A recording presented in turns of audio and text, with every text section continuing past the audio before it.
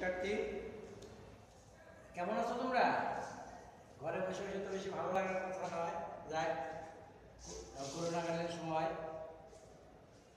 ভালো থাকবে। স্বাস্থ্যবিধি মেনে চলবে। আজকে আমি আজকে তোমাদের জন্য বিজ্ঞান থেকে যে ক্লাসটা নেব অষ্টম অধ্যায়ের সেই ক্লাসে এখন মিশ্রণ, অষ্টম অধ্যায় মিশ্রণ। মিশ্রণ নিশ্চয়ই তোমরা বোঝো মিশ্রণ অর্থ কি? মিশ্রণ বলতে আমরা বুঝি সেই জিনিসটাই, তোমরা নিশ্চয়ই সবাই জানো। মিশ্রণ বলতেই আমরা বুঝি মিশানো মিশানো একত্রিত করা। কিছু জিনিস এখানে করা। এটা বলা হয় মিশ্রণ। তাহলে মিশ্রণ, তো মিশ্রণ কি? মনে করো, ওই যে তোমরা নিশ্চয়ই দেখছ তোমাদের বাড়ি ঘরে বা রাস্তা বা স্কুলেও আমাদের কাজ করে। কি ধরনের কাজ? ওই বিল্ডিং এর কাজ করে, সেখানে বালু পাথর সিমেন্ট এগুলো দিয়ে মিশ্রণ করে, একত্রিত করে। কিংবা আমরা যখন মনে করো তোমাদের আম্মা বাসায় কি বিরিয়ানি রান্না করে, ওটাও তো একটা মিশ্রণ। ওখানে পোলাও, ওখানে দেওয়া হয় চাউল, তারপরে বিভিন্ন ধরনের মশলা, মাংস ইত্যাদি দিয়ে তৈরি করা হয়। এটার নামও মিশ্রণ। তোমরা তো নিশ্চয়ই ঝালমুড়ি খেয়েছো। ঝালমুড়িটা এক ধরনের মিশ্রণ। কারণ ঝালমুড়ি মিশ্রণ, এই যে মিশ্রণ ঝালমুড়ি, কি? মিশ্রণ, তাহলে এক ধরনের মিশ্রণ। এখন দেখো, মিশ্রণ বলতে আমরা বুঝতেছি কি? ঝালমুড়ি, এটা এক ধরনের মিশ্রণ। কি এমন মিশ্রণ? এখানে চানাচুর দেওয়া হয়, মুড়ি দেওয়া হয়, তারপর পেঁয়াজ, মরিচ ইত্যাদি দিয়ে একত্রিত করে এটাও মিশ্রণ। তো এখন এই যে মিশ্রণ, এই মিশ্রণকে আমরা আরেকটা বিষয় আছে, মিশ্রণ এবং দ্রবণ। দ্রবণ। এখন মিশ্রণ কোনটা, দ্রবণ কোনটা? মিশ্রণ হচ্ছে, মিশ্রণ বলতে এই জিনিসটাকে আমরা বুঝব। আবার দ্রবণটা হচ্ছে কি, আমরা যে চা খাই বাসায় বাসায় চা খাই কিংবা শরবত খাই, এটাও তো এটাও এক প্রকার মিশ্রণ। কিন্তু মিশ্রণটা এক প্রকার দ্রবণ। কিন্তু এখানে চা যদি যখন তোমরা খাও, তোমরা কি চিনি খুঁজে বের, চিনি খুঁজে বের করতে পারবে? নিশ্চয়ই পারবে না। তাহলে এটা, তাহলে মিশ্রণ এক প্রকার দ্রবণ, কিন্তু এটাতে কোনোটা অস্তিত্ব থাকে না। কিন্তু মিশ্রণের সময় ঝালমুড়ির কথা যদি আমরা চিন্তা করি তাহলে এখানে আমরা কি পাবো? এখানে আমরা মুড়িটা আলাদা করতে পারব, তারপর চানাচুর আলাদা করতে পারব, তারপরে মনে কর পেঁয়াজ আলাদা করতে পারব। কিন্তু যদি চার মধ্যে থেকে বা শরবতের মধ্যে থেকে তো আমি বলব, বলি যে ওখানে যে চিনি দেওয়া ছিল, চিনিটা আলাদা করে দেখে তোমরা পারবে নিশ্চয়ই পারবে না। তাহলে মিশ্রণও আমরা হ্যাঁ ওটাও কিন্তু একটা মিশানো হয়েছে, কিন্তু ওই মিশানোটা অস্তিত্ব থাকবে না, আর ওটাতে অস্তিত্ব থাকে। এখন বিভিন্ন প্রকার মিশ্রণের মধ্যে আমরা কি পাবো? এখন এই অধ্যায়ে আলোচনা করব মিশ্রণ দ্রবণ আমরা পাবো। তারপর আমরা পাবো কি বিভিন্ন ধরনের মিশ্রণ মিশ্রণ আমরা বিভিন্ন ধরনের মিশ্রণ আমরা পাবো বিভিন্ন ধরনের মিশ্রণ কি মনে করো ওই যে চিনির মিশ্রণ এমন মিশ্রণকে আমরা স্বাভাবিকভাবেই দুভাগে ভাগ করতে পারি মিশ্রণকে আমরা দুভাগে ভাগ করতে পারি একটা হচ্ছে সমসত্ব মিশ্রণ সমসত্ব মিশ্রণ আর একটা অসমসত্ব মিশ্রণ অসমসত্ব মিশ্রণ তাহলে সমসত্ব মিশ্রণ বলতে আমরা বুঝব যে মিশ্রণে কি সব জায়গায় সমানভাবে মিশ্রণের যে উপাদানগুলো ছিল এগুলো সমানভাবে মিশ্রিত অবস্থা থাকে এটাকে বলা হয় সমসত্ব মিশ্রণ আর অসমসত্ব মিশ্রণ যেটাতে মিশ্রণের উপাদানগুলো সব জায়গায় সমান হবে না এখন যদি মনে করো কি? আমরা, ওই যে বাসায় যদি বিরিয়ানি রান্না করা হয়, কিংবা বিরিয়ানির প্যাকেট আমরা দেখি, কি দেখব? যে সব, বাসায় সবার প্লেটে প্লেটে মনে করো তোমাদের আম্মা সবাইকে তোমাদের ভাগ করে প্লেটে প্লেটে করে উঠিয়ে দিল। দেখবে কারোটা তো দেখা যাবে মাংস দুটো বেশি আছে কারোটা মাংস একটা কম আছে। কিংবা তাহলে এই যে, এইটা কি সব জায়গায় সমান পাওয়া যাবে না আর সমস্যা তো মিশ্রণ হচ্ছে সেই মিশ্রণটা যে মিশ্রণের উপাদানগুলো সব জায়গায় সমানভাবে থাকবে এখন কিংবা মনে করো খিচুড়ি রান্না করার সময় কিংবা ডাল আর ডাল আর চাল যদি এখানে কিংবা ওই যে, কি বলে, মনে করো তোমরা তো নিশ্চয়ই দেখছ, ওই বিল্ডিং এর কাজ করে, সেখানে কি মিস্ত্রি সিমেন্ট বালু একখানে করা হয়। সব সময় পাথর, সব জায়গায় মিশ্রণটা সমান হয় না। তো সমস্যত মিশ্রণ এবং অসমস্যত মিশ্রণ বলতে আমরা পেয়ে গেলাম। যেটা সমান থাকে না উপাদানগুলো এখন আর অসমস্যত মিশ্রণ অসমস্যাত্মক বিশ্লেষণ এখন বিষয়টা আরেকটা ব্যাপার কি? আবার দ্রবণ। দ্রবণটার মধ্যে আবার দুই ধরনের বিষয় আছে। কারণ বিভিন্ন ধরনের মিশ্রণ যেমন ভাগ করা আছে, দ্রবণকে আমরা সেইভাবে ভাগ করতে পারি। দ্রবণ হোক দু ভাগে ভাগ হতে পারে। দু ভাগে দুই ভাগ? দ্রবণটা দু ভাগ করা হয়েছে। একটা হচ্ছে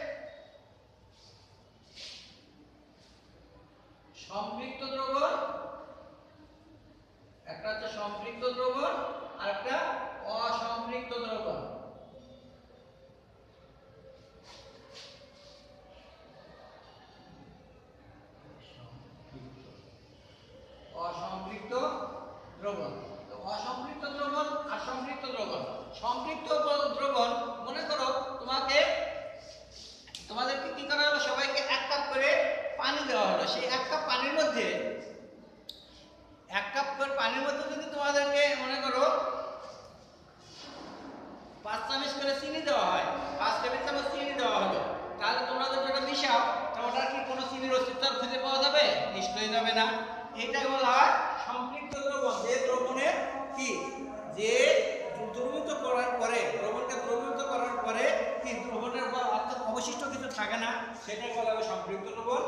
অসম্পৃক্ত দ্রবণ সেই দ্রবণটা যে দ্রবণের মধ্যে এখন তা না করে সমপরিমাণ পানি হয় এক কাপ পানিতে যদি এক কেজি চিনি দেওয়া যায়, সবটা কিন্তু সব চিনিটাকে কিন্তু পানিয়ে গোলাইতে পারবে না দ্রবণ করতে পারবে না।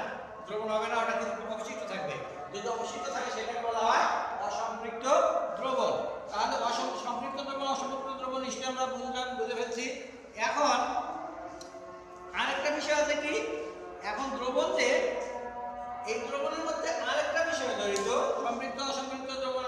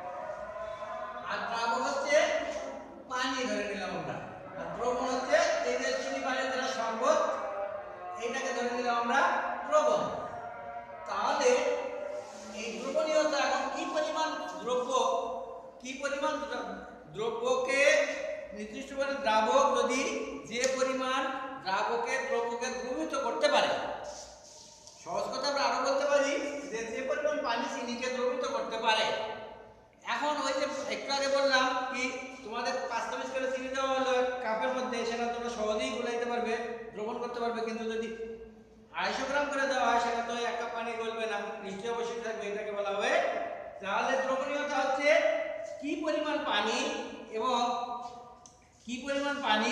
পঁচিশ ডিগ্রি সেন্টিগ্রেড তাপমাত্রা। অর্থাৎ দ্রবণীয়তা হচ্ছে একশো গ্রাম। একশো গ্রাম পানিতে, একশো গ্রাম পানি,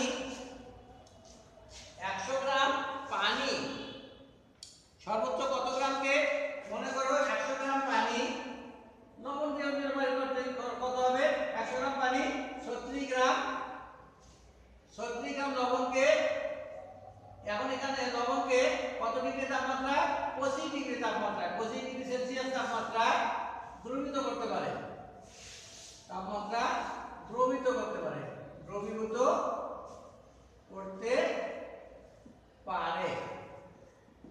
অর্থাৎ এটা এখানে এখানে দুইটা জিনিস লক্ষণীয় যে আমি কি পরিমাণ দ্রাবক নেব এবং কি পরিমাণ দ্রব্য নেব এবং তাপমাত্রাটা কত ডিগ্রি থাকবে পঁচিশ ডিগ্রি সেলসিয়াস তাপমাত্রা কি করতে পারবে একশো গ্রাম পানি মাত্র ছত্রিশ গ্রাম লবণকে দ্রব সম্পূর্ণরূপে দ্রবীভূত করতে পারবে কোনো অবশিষ্ট থাকবে না এই যে যে পরিমাণ থাকবে না এটাকে বলা হয় দ্রবণীয়তা অর্থাৎ নির্দিষ্ট তাপমাত্রায় তাপমাত্রাটা বেশ বাড়াকম আমরা করব না নির্দিষ্ট ফিক্স থাকবে নির্দিষ্ট তাপমাত্রায় যে পরিমাণ দ্রব্যকে কোনো দ্রাবক দ্রবীভূত করতে পারে, সেই পরিমাণ, অর্থাৎ সেই পরিমাণ সেই পরিমাণ দ্রব্যকে ওই দ্রবণের দ্রাব্যতা বলা হয়। এটা হচ্ছে দ্রবণীয়তা। আরেকটা বিষয়, তাহলে এখন তোমরা লক্ষ্য করে দেখো দ্রবণীয়তা তাহলে আজকের বিষয়ে আমরা কি কি দেখলাম প্রথমে আমরা আসলাম মিশ্রণ কাকে বলে মিশ্রণ হচ্ছে সেইটাই অর্থাৎ একত্রিত করে অর্থাৎ মিশ্রিত করলেই যেটা আমরা পাবো এটার নামে মিশ্রণ আবার দ্রবণও তাই মধ্যে ব্যবধান হচ্ছে মিশ্রণের মধ্যে উপাদানগুলো আবার আলাদা করা যায় কিন্তু দ্রবণের মধ্যে উপাদানগুলো আলাদা করা যায় না ওরা নিশ্চিন্ন হয়ে যায়। ওরা একটা আরেকটার সাথে যেমন শরবত, শরবতকে আমরা বলব কি? দ্রবণ। আর ঝালমুড়ি এটাকে বলব আমরা মিশ্রণ। ঝালমুড়ি থেকে আলাদা আলাদা করা যাবে। কিন্তু দ্রবণ এবং কিন্তু এখানে তাহলে এর থেকে আমরা বলতে পারতেছি যে সব দ্রবণই মিশ্রণ, কিন্তু সব মিশ্রণ দ্রবণ হতে পারে না। কেন পারে না? মিশ্রণ যদি আলাদা করা যায়, কিন্তু চিনি, আমরা যদি এখন শরবতকে আলাদা করতে চাই, চিনি আলাদা করব, সেটা পারা যাবে না। কিন্তু তাহলে ওটাও ওটাও মিশ্রণ এটাও মিশ্রণ কিন্তু যে মিশ্রণের মধ্যে কি থাকবে না, তার উপাদানগুলো আলাদা করা যাবে না, সেটাকে বলব আমরা দ্রবণ এবং যেটাকে আলাদা করা যায়, সেটাকে বলব আমরা মিশ্রণ। এখন এই মিশ্রণ সমানভাবে যদি মিশানো হয়, সেটাকে বলা হয় সমসত্ব মিশ্রণ। আর সমানভাবে যদি থাকে না, কোথাও কোনো উপাদান কোথাও বেশি থাকে, কোথাও কম থাকে, মনে করো ঝালমুড়ি যদি আমরা চিন্তা করতেছি, বারবারই বলতেছি এই উদাহরণটা, এই ঝালমুড়ির মনে করো তোমরা কি পাবে? কয়েকটা বাড়িতে কিছু পরিমাণ ধানমুড়ি একত্রিত করে মিশ্রণ করে কয়েকটা বাড়িতে ওঠানো হলো। তোমরা বন্ধুরা কয়েকজন কিন্তু দেখবে কোনোটা হয়তো কোনো পাত্রে কি আছে কোনো বাড়িতে দেখা যাবে চিনি বেশি আর কি বলে, চানাচুর বেশি হয়েছে, কোনোটাতে মুড়ির পরিমাণ বেশি কিংবা কোনোটাতে পেঁয়াজ একটু বেশি আছে, এরকম হইতে পারে। আর কিন্তু যদি দেখা যায় যে এক লিটার এক লিটার শরবত বানানো হয়েছে, কিন্তু সেটা কয়েকজনকে কয়েকজনকে ওখান থেকে এক কাপ করে দেওয়া হলো। কিন্তু যে কাপেই তোমরা টেস্ট করো, সব কাপেই সমান পরিমাণ মিষ্টি কিংবা টেস্ট পাওয়া যাবে। তাহলে এটাই হচ্ছে আর মিশ্রণের মধ্যে এটা পাওয়া যায় না। এখন আমরা দ্রবণ পাইলাম, মিশ্রণ পাইলাম আমার দ্রাবক কি? আর দ্রবণ কি? দ্রব্য এবং দ্রাবক মিলে যেটা কি হয়? একত্রিত করলে যেটা হয়, এটার নাম হচ্ছে দ্রবণ। আবার সম্পৃক্ত দ্রবণ অসম্পৃক্ত দ্রবণ কোনটা? সম্পৃক্ত দ্রবণ যেটাতে আর কোনো তলানি থাকে না। সম্পূর্ণ অংশ, দ্রব্য সম্পূর্ণ অংশই, দ্রব্য যা আছে পুরোটাই গলে যায়। আর কোনো তলানি থাকে না, এটাকে বলা হয় কি? সম্পৃক্ত দ্রবণ এবং অসম্পৃক্ত দ্রবণ দেখা যাবে দেখি দ্রাবকে নির্দিষ্ট পরিমাণ গলাইতে গলায় বলতে পারছে সেখানে আর অতিরিক্ত কিছু রয়ে গেছে। যদি অতিরিক্ত রয়ে যায় সেটা বলা হবে অসম্পৃক্ত দ্রবণ তার সম্পৃক্ত দ্রবণ অসম্পৃক্ত আর দ্রবণীয়তা হচ্ছে পঁচিশ ডিগ্রি সেন্টিগ্রেড তাপমাত্রা যে পরিমাণ, একশো গ্রাম পানি যে পরিমাণ দ্রব্যকে দ্র- দ্রবীভূত করতে পারে, সেটাকে বলা হয় তার দ্রবণীয়তা। তাহলে এখন আমরা আজকের এই বিষয়, আজকের পাঠ থেকে আমরা জানলাম, মিশ্রণ কি, দ্রবণ কি, দ্রবণীয়তা কি, সম্পৃক্ত দ্রবণ কি, অসম্পৃক্ত দ্রবণ কি, সমসত্ব মিশ্রণ কি, অসমসত্ব মিশ্রণ কি, তোমরা বাসায় একটু তোমরা বাসায় পড়াশোনা করবে বাসায় দেখবে, চর্চা করবে, বারবার পড়বে, বোঝার চেষ্টা করবে।